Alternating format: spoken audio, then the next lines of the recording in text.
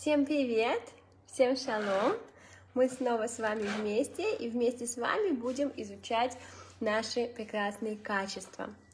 Сейчас а, потихонечку все будут присоединяться, и мы начнем сегодня с вами говорить про а, качество гордости. Да? В прошлый раз мы просто поговорили, в принципе, о человеческих качествах. Сегодня наша с вами тема — это гордость, скромность и хорошая самооценка. А мы, с вашего позволения, начнем с нескольких цитат о гордости. Цитаты будут в основном сегодня самых-самых великих еврейских э, авторов, да, которые пишут о гордости. И один из моих э, главных помощников сегодня будут Малбим и Рамхаль. Очень часто мы путаем, что же такое гордый человек, скромный человек. Нам кажется часто, что скромный человек это такая серая мышка, которая не знает своих талантов, не знает своих способностей, и поэтому он такой скромненький. Шалом, шалом, рада очень всех видеть. На самом деле, сегодня мы посмотрим на эти замечательные три качества — гордость, скромность и хорошая самооценка — глазами Торы, и посмотрим, как это все на самом деле. Итак, говорит Малбим о том, что Гордость — это иллюзия, а не реальность. То есть человек гордый на самом деле живет в полной иллюзии. Он думает, что он выше других, и из-за этого он не видит своих промахов, ждет похвалы от, от других и смотрит свысока на людей, которых считает ниже себя. Итак, давайте еще раз это повторим, потому что это как некие симптомы нашей болезни, да, у каждой болезни есть симптомы, и когда мы хотим э, работать над собой, нам очень важно честно посмотреть на себя и спросить себя, насколько эти симптомы, э, возможно, касаются меня. Итак, гордый человек — это тот, который не видит своих промахов. То есть, если вы тяжело очень воспринимаете критику, и как только вам что-то пытаются намекнуть, что вы делаете не совсем так, вы чувствуете ужасную боль, то, возможно, это связано, возможно, это связано с гордостью. А, также такой человек ждет похвалы от других, да, он все время ожидает, выжидает, клянчит эту похвалу, потому что он на самом деле не уверен в себе, и смотрит свысока на людей, которых считает ниже себя. Да? Вот таких три симптома нашей с вами болезни гордости пишет Малби. А, я думаю, что многие из вас обратили внимание на то, что вообще-то в нашем обычном понимании это симптомы низкой самооценки. Человек, который а, ждет похвалы, который недостаточно уверен в себе, который смотрит свысока на других, который выклянчивает комплименты. В нашем понимании это обычно человек, с комплексами обычный человек с заниженной самооценкой. И здесь мы впервые видим такое э, новую идею в иудаизме, что на самом деле гордость и низкая самооценка — это очень близкие вещи. Нам всегда казалось наоборот, что гордость — это по одну сторону, а низкая самооценка по другую, но на самом деле это не так. На самом деле корень гордого человека, корень гордеца — это тоже те же самые комплексы, это та же самая низкая самооценка, из-за этого он часто будет как компенсация мотивация смотреть на других свысока. Замечательно.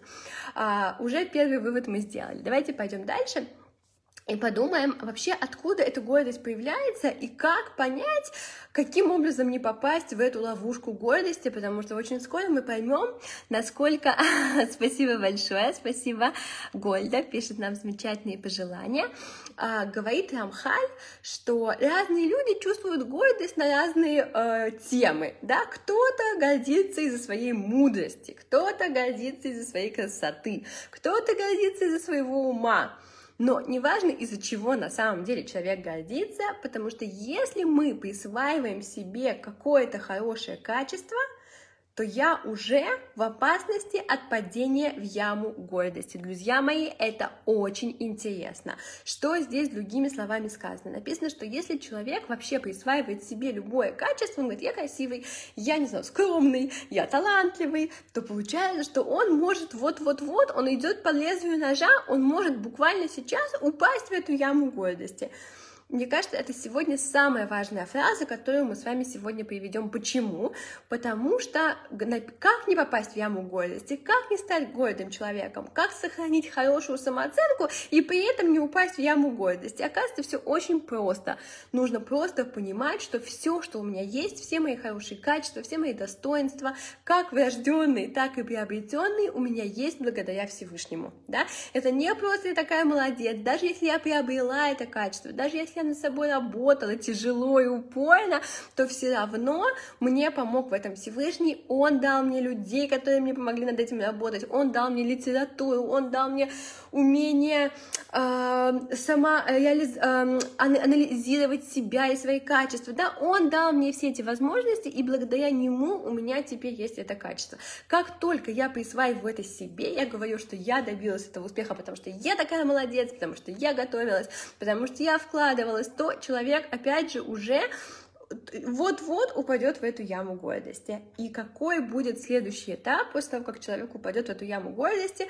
Написано, что он будет радоваться промахам и неудачам других людей. Представляете, э, нам это кажется так ужасно, но на самом деле очень часто, когда кто-то слышит про то, что у кого-то что-то не получилось, кто-то там потерял работу, у кого-то проблемы, к сожалению, люди этому радуются, потому что они как будто бы находятся постоянно в каком-то соревновании, да, у него все плохо, плохо, значит, у меня не так плохо. Фуф, да? И вот это, это, это тоже признак гордости, если человек не умеет радоваться за удачу других людей, а наоборот, не дай бог, там, радуется, ликует, когда у других что-то плохо. Кроме этого, мы сегодня разберем эту болезнь гордости максимально обширно, да, максимально широко, насколько нам позволит наше с вами время. Написано, что из-за гордости мудрецы начинают деградировать, потому что они перестают учиться. Что же очень интересно, бывает такое, что человек идет, ходит с таким, знаете, подходом, я уже все это знаю, я уже все это слышал, мне уже сто раз про это все говорили, я вам сам могу все это преподавать, да? Это значит, что человек на самом деле очень гордый, потому что вы прекрасно знаете, что иногда мы слышим одну и ту же мысль в разном изложении, в разные периоды нашей жизни, и мы каждый раз открываем в этом что-то новое, да? Поэтому еще одна проблема гордеца, что он не может учиться, ему кажется, что он круче, лучше, лучше, важнее всех остальных. И, конечно, это тормозит его очень сильно в его развитии. А, кроме этого, написано, что постепенно мудреца, перес... Э, гордеца, извините, перестанут уважать. Да, так написано, что те, у кого есть гордость, в итоге все его будут считать незначительным. То есть мы на самом деле очень часто чувствуем, когда другие смотрят на нас или просто на окружающих свысока, и такой человек очень быстро теряет уважение в наших глазах. Посмотрите, как глубоко и тонко разбирается Толя в психологии человека, да, что сначала этот человек, он может, конечно, держать всех, да, там в ежовых рукавицах и делать вид, что он такой гордый, что он лучше, что он круче, что он там повелевает кем-то. Но по факту люди очень быстро потеряют такому человеку уважение. И самое страшное, почему мы на самом деле, раскрою вам секрет, начали именно э, с этого качества гордости, потому что написано, что такой человек гордец, он не может подчиниться ни одному авторитету, включая авторитет Творца. То есть горделивый человек, он не сможет служить Всевышнему, он не сможет по-настоящему иметь связь с Творцом, потому что его убивают, бесят, раздражают все авторитеты. Для него есть только один авторитет, это он сам. И поэтому он не может жить с Творцом в одном помещении, в одном месте. Ему мешает Творец этого мира, потому что он не готов подчиняться никому.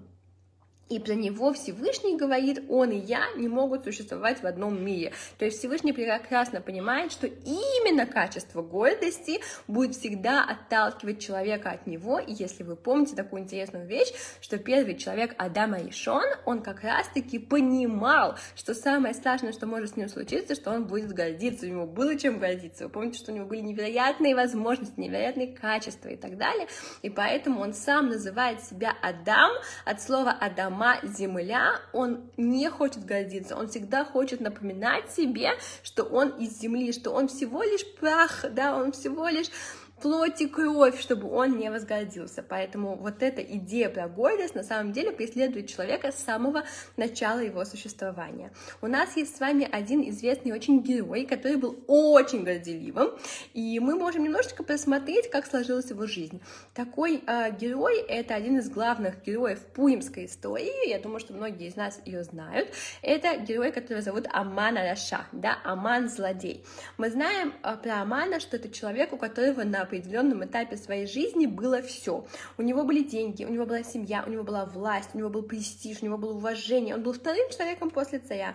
У него была только одна проблема, да, такая, честно говоря, смешная проблема, что один еврей Мордыхай ему не кланялся, великая проблема, да, один человек в государстве ему не кланяется. И как он говорит своей жене, он говорит, мне все, что у меня есть, ничего не стоит, пока этот человек, мой дыхай, мне не будет поклоняться. Вы понимаете, что происходит, да? То есть человек гордец, он ничего его не удовлетворяет. У него может быть все на этом свете, но что-то пошло не так, что-то пошло не по его плану, и он бесится, он не может с этим жить, он не может ничего ценить, ему все плохо, потому что у него нет одной какой-то вещи, которая вот сейчас ему очень нужна.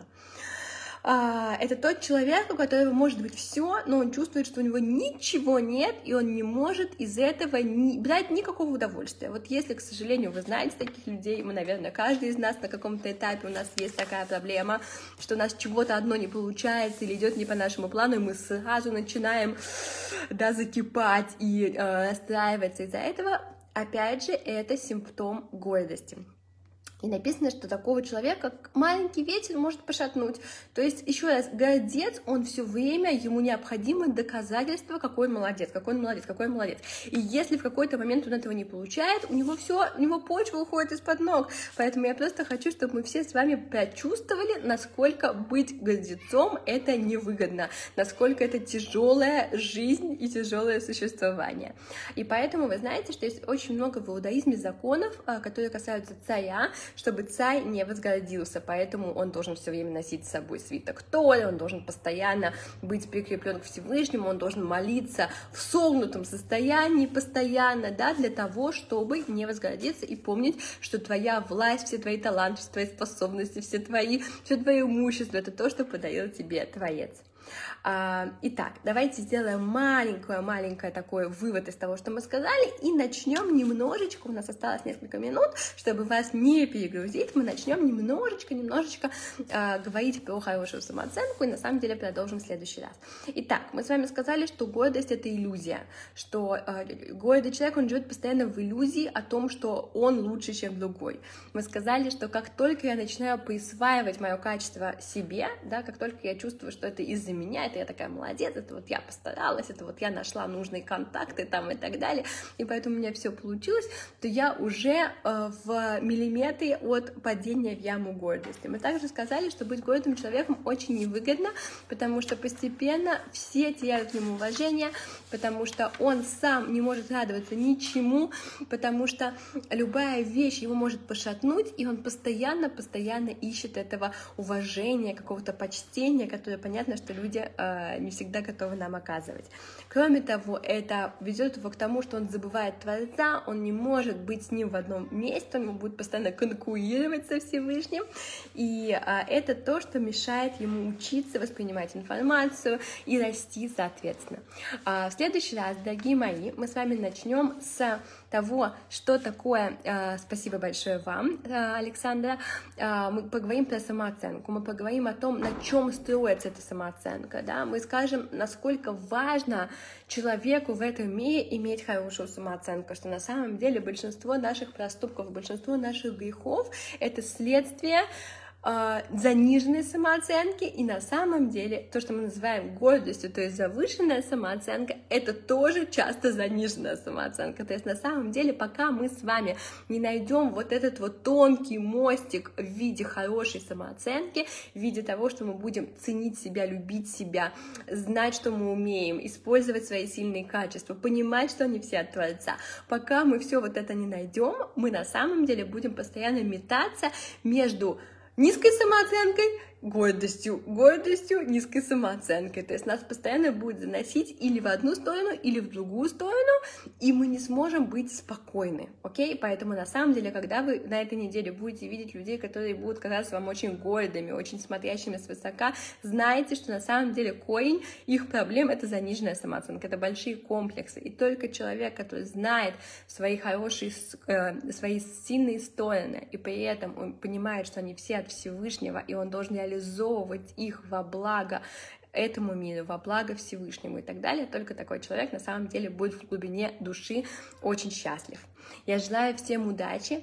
А, хочу попросить всех немножечко по тем симптомам которые я перечислила, подумать, есть ли у вас какие-то проявления гордости, потому что это самое важное это обнаружить и проработать. И в следующий раз, в следующий четверг с удовольствием рассмотрим с вами основы хорошей самооценки, которые на самом деле являются ключом для всех хороших отношений в нашей жизни. Всего вам доброго, хорошей недели, а, будем на связи.